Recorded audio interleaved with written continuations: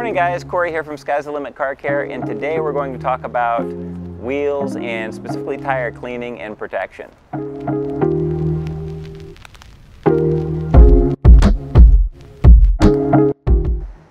So we're going to start today by talking about some of the contaminants that you deal with on wheels and some of the reasons why people don't really enjoy cleaning wheels and what you can do to make this a more fun experience for yourself. Uh, it really all comes down to the tools and the products that you have on hand for cleaning wheels. For instance, if you don't have the right brushes and the right products, then it's really a dirty job and a lot of work trying to get your hands in there to clean the barrels and all of that. So what you need is the correct brushes. Um, and that's going to make all the difference in the world. So uh, the Microfiber Madness Incredibrush, this is the old version I've got here. Uh, we don't have the, the fully formed handle on this old version, but uh, needless to say, it's lasted a long time. A great brush. This is what I'm going to use for the majority of the, uh, of the wheel barrel. Um, the only time that I'm going to use a different brush on there is with the EZ Detail. I usually like to use an EZ Detail Mini, which is a bit smaller than this one, but this will work all the same. And what I like this for is to bend it like that to get back around the back of that barrel. The other option, if you don't have one of these handy, is the Incrediflare, which we're also going to use. That's also from Microfiber Madness, just like the Incredibrush. And again, you have this thumb, the mids ambidextrous, and you can just wrap that whole thing around the, around the spoke and get the back of it pretty well with this. So between those three tools, you can get pretty much every part of the uh, car you need. And then finally you have the, um, the lug nut brush. The uh, lug nut brush, uh, this one's from CarPro, and we won't really use that here, but it works great. Uh, we don't have any lug nuts exposed, but uh, what we do have is little tight corners like that, and so anywhere that we miss a spot, we might come back and hit that. Generally, the Incredibrush flat, the one we've got out here, will get into those areas and, and works so well with this wheel that I won't even need this on this, but um, I did want to point that out. And then finally, for the cleaning of the tire, we have the tire brush. This is a low profile tire brush so we can get in here without scratching the rim. And that is pretty much everything we have for the tools. As far as the products go, We've got our Tuga wheel cleaner. If you haven't used this, it's an absolute must try. Uh, anybody that switches to this does not switch away from it. Um, that's going to remove all those nasty contaminants and dirt and everything and make it really easy to come off without any hard without any hard work. Just a light brushing with these tools and everything's just going to come right off. Uh, next we have the ReTyre. That's what we have in the dilute bottle there. That ReTyre is what we're going to use to clean the, uh, the rubber, the tire. And then finally, to avoid any uh, flash rust on the uh, rotors, we're going to spray our Hides rust stopper on there and wipe that off when we're done. Um, uh, the reset we have there, that's what we have in the bucket. And then the DarkSide is what we're going to use to dress the actual tire itself. And we'll talk a little bit about protecting the wheel itself as well. Um, finally, to dry it off, you can use the Incredibrush to get inside of the uh, barrel and put, there's a drying cover that you can use on it, but we have our Metro Master Blaster out here, and that's my preferred option for drying the wheel because you can dry everything really fast and really good with no water spots left behind. So without further ado, we're gonna go ahead and talk a little more about the contamination, and then we'll get into the demo. So as far as contaminants and dirt go, obviously your wheels are the first thing that touches the ground. Um, that's where a ton of dust and dirt is gonna be stirred up you know, wherever you go, especially on dirtier roads. Um, tar is going to get spit up on there sometimes, but the biggest contaminant that you really have to worry about is brake dust. Um, obviously, you have two pieces of steel hitting each other, and that is going to create little tiny pieces of brake dust that are going to be flying off all the time.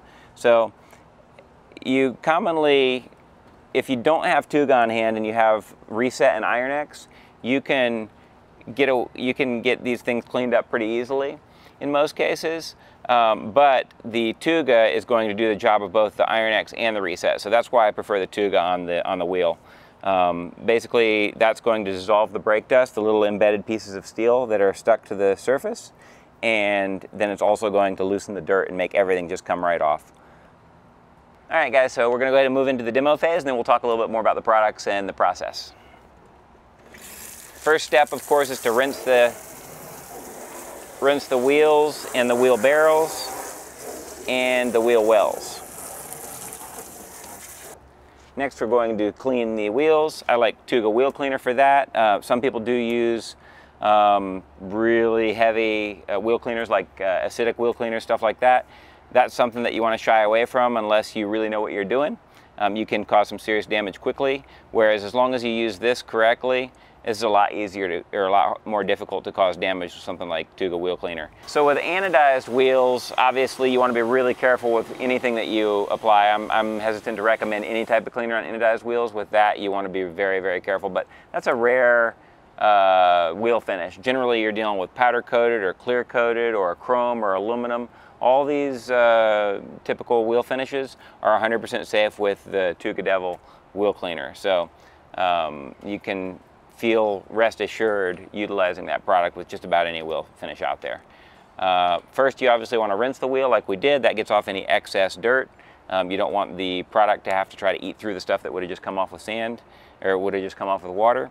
And then now we can go ahead and spray the wheel cleaner on and we're going to, uh, we're going to be able to let it eat at the, uh, the brake dust and the, the dirt and contaminants.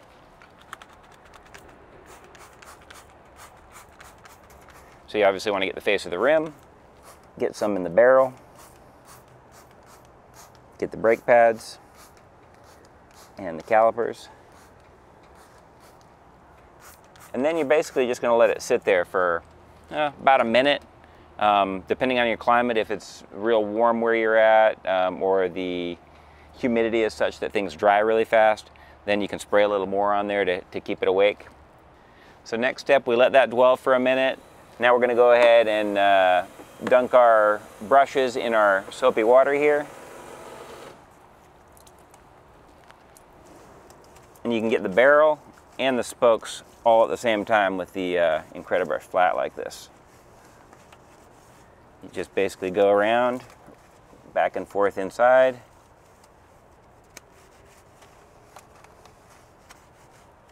And I'll leave the face. You'll notice I'm not spending any time on really the faces of it, but I am getting into the corners because that's easy for me to knock out on the way out.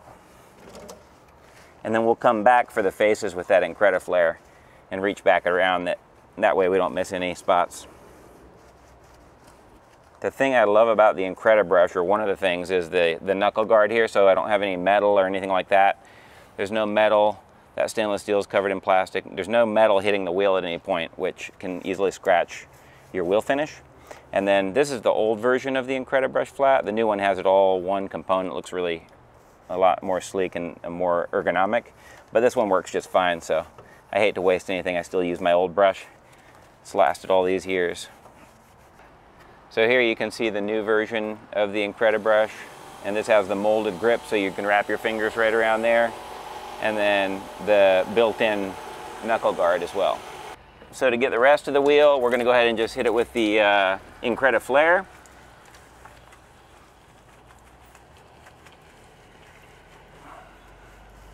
And then while this is still wet, to get the back of the uh, rims, I think I got everything with that Incrediflare, but this is what a lot of people will do depending on the rim, is use the uh, EZ Detail or EZ Detail Mini and that you can bend to however you want it and get back there. I don't generally like using this on the entire wheel because if you, when you go like that and you go to pull it back out, you'll see how it spits the liquid back out at you. You have to move it real slow in order to do that. So you're better off moving it back and forth like that. But again, I don't like how it spits the wheel cleaner all over me. I don't want that all over my skin. And, uh, and then I also don't like that I have a metal you know, there's metal down in there that I don't want that rubbing on the finish. If, if used correctly, it won't, but it's still something you gotta keep in mind. So for me, I can get everything I want on these rims, particularly with this. In some cases, you might need the EZ Detail brush. Uh, I do like to use the ReTyre on the rubber while the cleaner is still sitting here, and that I just want these to be wet um, while, I, uh, while I have the ReTyre in case any of it drips down onto the finish. The ReTyre is very strong, and you're better off um, having something there to dilute it with before the uh, before it can cause any damage to your finish. Generally, it won't cause damage to your finish, but you do want to be cautious of that and take all the precautions you can whenever you're working with a cleaner. So it's a foam, so it's easy to spray on like that. If you get some on your um, finish there, you've got some time, but if you're not sure how sensitive your finish is, then just go ahead and rinse that back off and dilute that Another technique that we've shown in our ReTyre video is to just spray it directly on the brush like that, and then you can control exactly where it's going.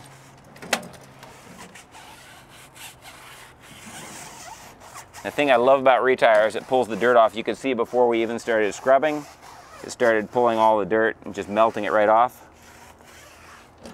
And so obviously it's a great cleaner for tires.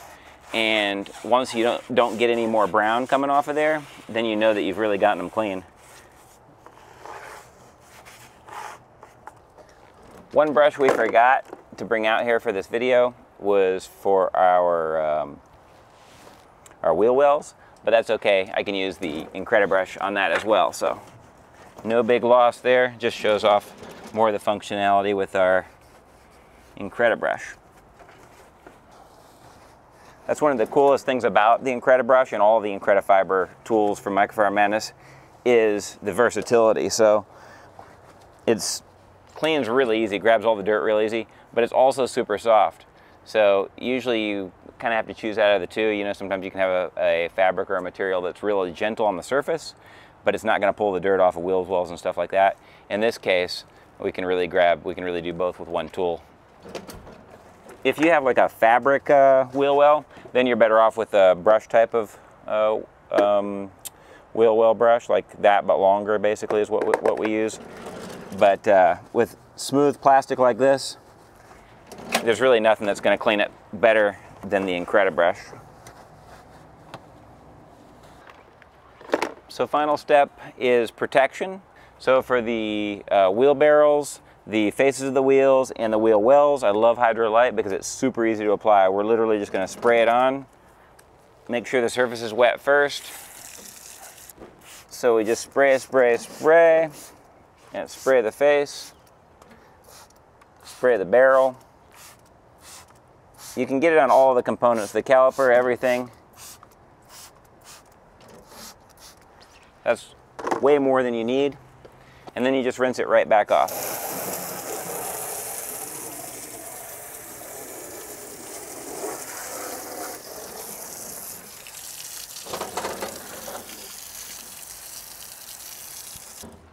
So in a pinch, if you don't have time to dress your tires, you could also just easily spray it on your tires. It's not going to darken them and everything like uh, DarkSide will, but it'll at least give them a little protection and make them easier to clean. So next step, we're gonna go ahead and just dry all this off. Um, like I said, you could use a uh, Incredibrush with a drying cover and a towel and all that, but we're gonna go ahead and use the Metro Master Blaster because as you'll see, it's far easier.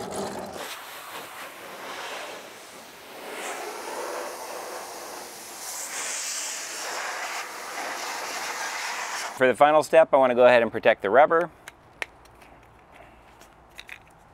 Uh, the DarkSide does come with a pump, but I like to just tilt the bottle and get a little on like that.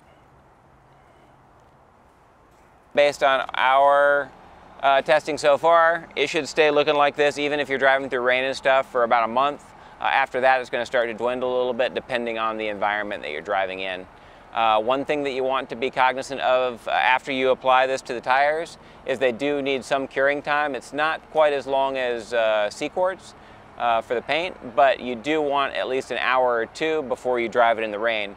All right guys, that's everything for today. Um, if you have any particular questions about your wheels or tires in particular, never hesitate to give us a call or shoot us an email. The uh, contact information is in the notes below. If you haven't subscribed already, please be sure to do so. That really helps us keep up uh, making good videos for you and uh, giving you a lot of uh, information and education on the products that we offer and the service. Um, if you have any comments or questions below, we'll be sure to answer those within the next 24 hours. We really appreciate you guys watching and we look forward to seeing you next time.